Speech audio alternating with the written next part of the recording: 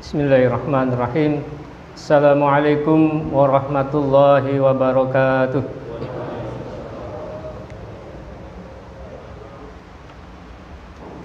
أعوذ بالله من الشيطان الرجيم بسم الله الرحمن الرحيم إن الله وملائكته يصلون على النبي الله أكبر الله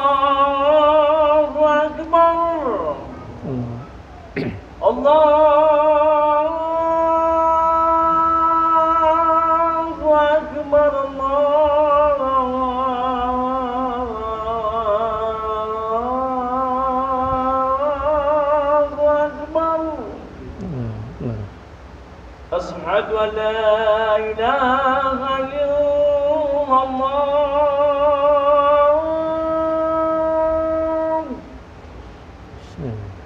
أشهد أن لا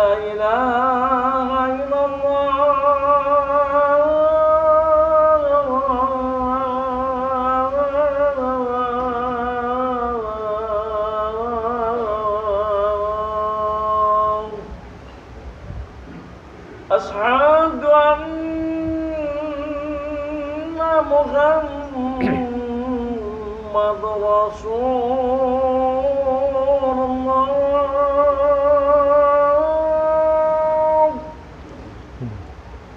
أشهد أن محمد رسول الله.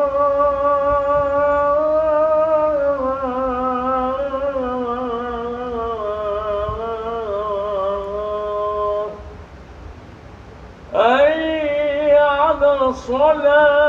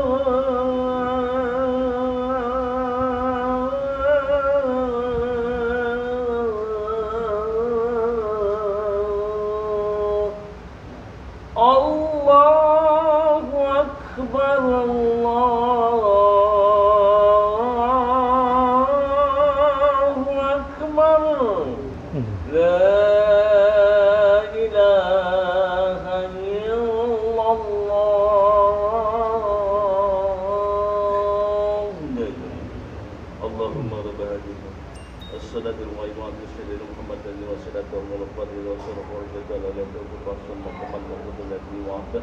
إنك لتخرج الميعاد.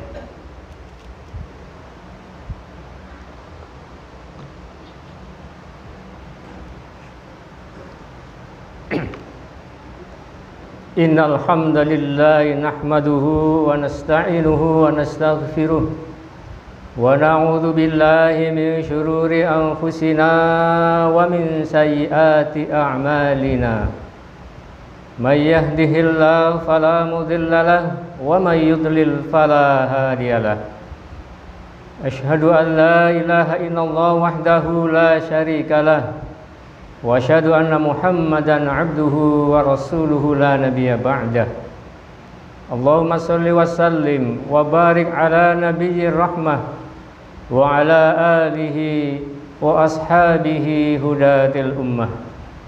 Masya'allahu kan wa ma lam yasha' lam yakun wala haula wala quwwata illa billah amma ba'd. Faya ayyuhal hadirun faya ayyuhal mu'minun usikum wa nafsi bitaqwallah faqad fazal muttaqun. Kama qala Allah ta'ala fil Qur'anil Karim أعوذ بالله من الشيطان الرجيم بسم الله الرحمن الرحيم يا أيها الذين آمنوا اتقوا الله حق تقاته ولا تموتن إلا وأنتم مسلمون وقال أيضا يا أيها الذين آمنوا اتقوا الله ولتنظر نفس ما قدمت لغد واتقوا الله innallaha khabirum bima ta'malun. Wa qala rasulullah sallallahu alaihi wasallam ittaqillah haitsuma kunta wattabi' sayyi'atal hasana tamhuha wa khaliqin nas bi khuluqin hasanin. Sadaqallahul azim wa sadaqa rasuluhul karim wa nahnu ala dzalika minasyahidin at-tahirin walhamdulillahi rabbil alamin. Masyiral muslimin sidang Jumat ah, rahimakumullah. Senantiasa marilah kita memanjatkan puji dan syukur kehadirat Allah yang telah memberikan berbagai macam kenikmatan tak terhingga tak terhitung jumlahnya. Mulai dari kenikmatan kita masih diberi kesempatan untuk hidup untuk menambah amal, menambah jariah, beristighfar dan bertobat kepada Allah. Kenikmatan kesehatan walaupun mungkin di antara kita atau saudara kita sedang diuji dengan sakit semoga segera Allah angkat penyakitnya. Kita masih diberi kesempatan untuk sehat. Dan nikmatan yang paling utama adalah adanya nikmat Islam dan iman yang masih kita pegang teguh sehingga dengan nikmat Islam dan iman itulah kita bisa hadir di masjid yang mulia ini dengan nikmat Islam dan iman itu kita masih mengagungkan Allah la ilaha illallah dan masih membantu saudara-saudara sesama. Maka ketika ada panggilan azan mengucapkan hayya 'alas salah, mari kita menuju salat. Jawaban kita yang mendengarkan adalah la haula wala quwata illa billah. Bahwa menunjukkan kita tidak bisa hadir ke sebuah masjid, kita tidak bisa hadir mengikuti sholat Jumat atau sholat fardu berjamaah kecuali dengan pertolongan kekuatan dari Allah Subhanahu wa taala. Karena itu mari kita jaga Islam dan iman kita dengan sebaik-baiknya. Jangan mudah ditukar dengan harta, dengan sembako dan dengan segala fasilitas dunia yang gemerlap. Kemudian salawat dan salam selalu kita haturkan kepada junjungan Nabi besar Muhammad sallallahu alaihi wasallam. Hamba Allah manusia paling mulia sejak zaman Nabi Adam sampai hari kiamat yang senantiasa memberikan kasih sayang kepada umatnya yang tidak pernah marah dalam hal soal pribadi yang selalu memberikan nasihat-nasihat kepada para sahabatnya. Maka wajarlah apabila kita sebagai umatnya diperintahkan dianjurkan bersalawat kepada Nabi besar Muhammad sallallahu alaihi wasallam. Allahumma shalli alaihi. Di dalam surat Al-Ahzab 56 Allah menyebutkan A'udzubillahi minasyaitonirrajim innallaha wa malaikatahu yusalluna 'alan nabi. Allah dan para malaikat saja bersolawat kepada Nabi. Tidak ada di dalam Al-Quran perintah misalnya perintah sholat Kemudian Allah memerintahkan dirinya untuk sholat Tidak perintah puasa yang insya Allah sebentar lagi ya beberapa hari lagi kita memasuki bulan puasa. Tidak tapi solawat Allah menyebutkan Allah bersolawat kepada Nabi. Para malaikat pun bersolawat. Ya yuhalladina amanu sallu alaihi wassalimu taslima. Maka dari itu orang-orang yang beriman terbanyaklah solawat kepada Nabi.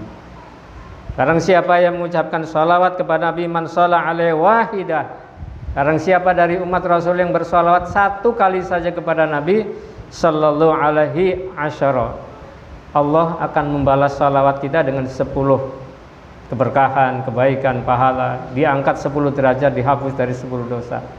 Makanya Rasul menyindir jangan sampai menjadi orang yang pelit, orang yang bakhil. Siapa itu? Orang yang sedikit salawatnya kepada Nabi. Bulan Syaban ini adalah bulan memperbanyak salawat Karena perintah salawat tadi di dalam surah Al-Azab turun pada bulan Sya'ban. Itu yang nanti insya Allah akan kita sedikit uraikan. Khotib berwasiat takwa kepada dirinya dan hadirin sekalian yang selalu diwasiatkan oleh Rasulullah kepada para sahabatnya, selalu diwasiatkan para sahabat kepada tabi'i tabi'in dan kita kepada umatnya. Karena memang bekal yang terbaik adalah takwa. Perjalanan ke mana pun, di mana pun, sejauh apa pun pasti memerlukan bekal. Semakin jauh perjalanan, semakin banyak, harus semakin lengkap bekalnya. Perjalanan haji yang hanya sekarang lumayan naik hampir 50 juta itu bekal yang tidak sedikit untuk melunasinya dalam bulan-bulan ini kan. Makanya perintahnya adalah manistata'a ilaihi sabila bagi yang sanggup menunaikan perjalanan. Nah, apalagi ini perjalanan yang abadi perjalanan yang tidak ada batas waktunya selama-lamanya di akhirat. Bekalnya harus semakin banyak, bekalnya harus semakin lengkap. Wa tazawwadu fa inna khairaz taqwa wattaquni ya ulil albab. Berbekalah kalian dan sesungguhnya sebaik-baik bekal adalah takwa kepada Allah Subhanahu wa taala. Dua kalimat mengerjakan perintahnya, meninggalkan larangannya. Hadirin rahimakumullah, Selanjutnya pada bulan Syaban ini artinya tinggal hitungan beberapa hari lagi kita akan memasuki bulan puasa. Bulan suci Ramadan yang kita harap-harapkan kemuliaan dan keberkahannya. Paling tidak ada beberapa keutamaan bulan Syaban sebagai upaya menyambut bulan Ramadan. Karena keterbatasan waktu kami uraikan beberapa saja. Yang pertama bulan Syaban adalah bulan yang penuh keberkahan sebagai kelanjutan dari bulan kemarin bulan Rajab bulan Isra Mi'raj di mana orang mengadakan Isra Mi'raj atau Rajaban kemudian sekarang masuk bulan Syaban nanti masuk bulan Ramadan. Rasulullah dalam satu doanya mengatakan Allahumma barik lana fi Rajab wa barik lana fi Syaban wa balighna Ramadan. Ya Allah berilah keberkahan kami pada bulan Rajab. Kemarin sudah lalu Berikanlah kami keberkahan pada bulan Sya'ban ini bulan ini. Dan ya Allah, sampaikanlah kami pada bulan Ramadan. Amin. Ya Rabbal Alamin. Karena kalau tanpa Ramadan rasanya amal kita masih sangat kurang. Itulah kebijaksanaan Allah melipat gandakan pahala pada bulan suci Ramadan. Mari kita selalu berharap kepada Allah, mudah-mudahan kita diberi kesehatan, diberi kelapangan rezeki sampai pada bulan Ramadan. Itu bulan penuh keberkahan. Karena ini bulan keberkahan, mari kita berbanyak kebaikan. Karena pada bulan inilah dalam hadis lain dikatakan bagaimana bulan ini diangkat amal-amal kebaikan. Fihil a'mal ila rabbil alamin. Syahru turfa'u fihil a'mal ila rabbil alamin. Bulan di mana amal-amal kebaikan diangkat oleh Allah. Karena itu Rasul senang kalau amal kebaikannya diangkat dalam keadaan puasa, dalam keadaan berbuat baik. Ini kalau dalam uh, dunia olahraga mungkin ya disebut sebagai warming up, ya, pemanasan. Maka dari itu jangan nunggu nanti bulan Ramadan baru kita bersiap-siap. Dari sekaranglah persiapannya. Yang kemarin-kemarin mungkin belum atau sedikit waktunya membuka Quran kita buka. Quran sekarang modern dan digital ada di handphone kita masing-masing. Sehari satu, dua ayat, sepuluh ayat, satu lembar sebagai pemanasan.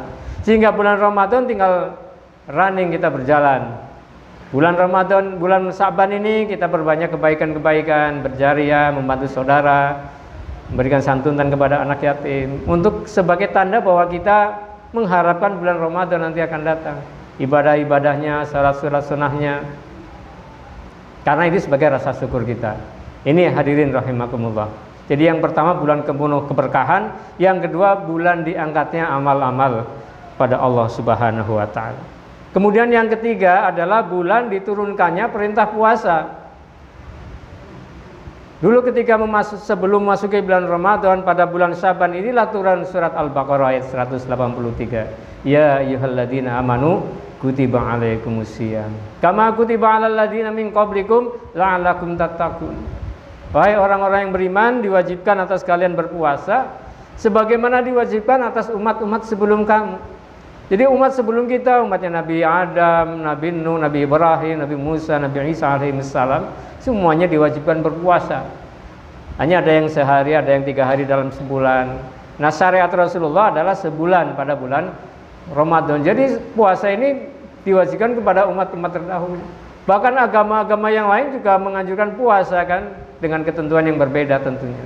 Bahkan dalam dunia medis kita mungkin pernah mendengar atau saudara kita ketika akan dioperasi apa yang diperintahkan dokter suruh puasa kalau operasinya besok ini bapak ibu mohon puasa dalam sekian jam paling minum ya Ini sungguh dasar puasa itu. Makanya Rasulullah mengatakan sumu tahsin. Puasalah kalian akan memperoleh kesehatan. Ini bulan turunnya puasa dan yang terakhir bulan puasa eh bulan Sya'ban adalah bulan pemindahan kiblat dari Masjidil Aqsa ke Masjidil Haram.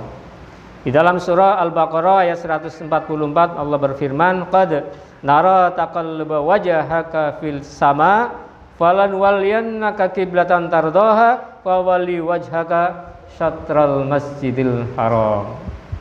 Jadi dulu setelah Isra Mi'raj Rasulullah diperintahkan Allah untuk sholat menghadap ke Masjidil Aqsa kiblat yang pertama.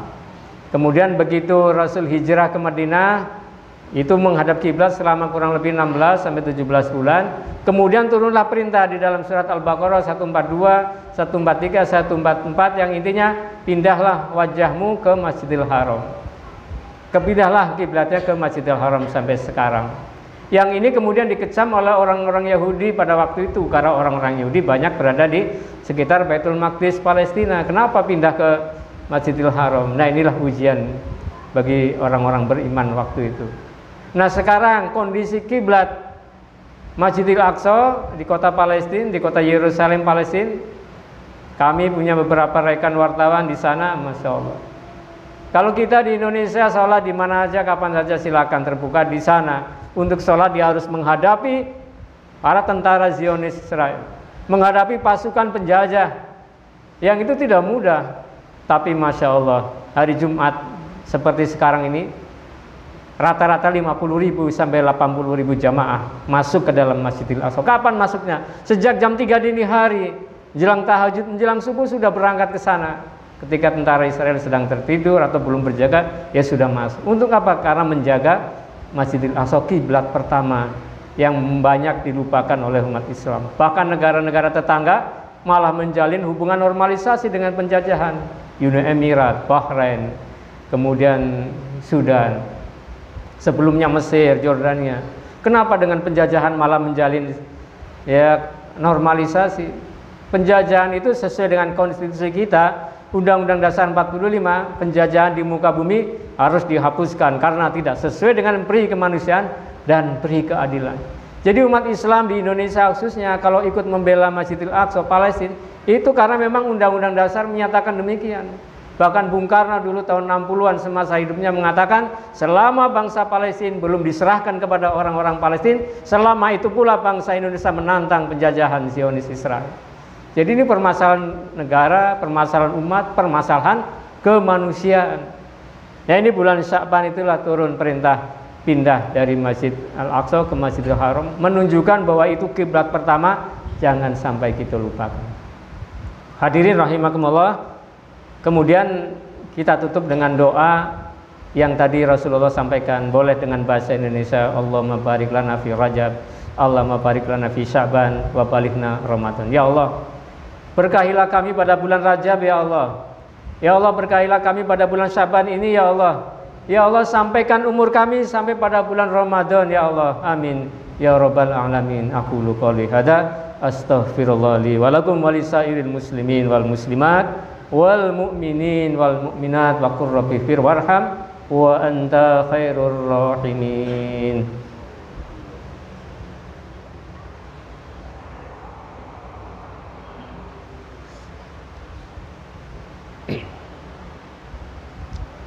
Alhamdulillahi rabbil alamin Wassalatu wassalamu ala ashrafil anbiya wal mursalin wa ala alihi wa ashabihi ajma'in أشهد أن لا إله إلا الله وحده لا شريك له وأشهد أن محمدا عبده ورسوله إمام الأنبياء والمرسلين اللهم صل وسلم وبارك على نبينا محمد وعلى آله وصحبه أجمعين أما بعد أعوذ بالله من الشيطان الرجيم بسم الله الرحمن الرحيم يا أيها الذين آمنوا اتقوا الله وقولوا قولا سديدا يصلح لكم أعمالكم ويغفر لكم ذنوبكم wa may yuti'illah wa rasulahu faqad faza fawzan 'azima wa qala aidan innallaha wa malaikatahu yusalluna 'alan nabi ya ayyuhalladzina amanu sallu 'alaihi wa sallimu taslima Allahumma salli ala Muhammad wa ala ali Muhammad kama sallaita ala ali Ibrahim في العالمين إنك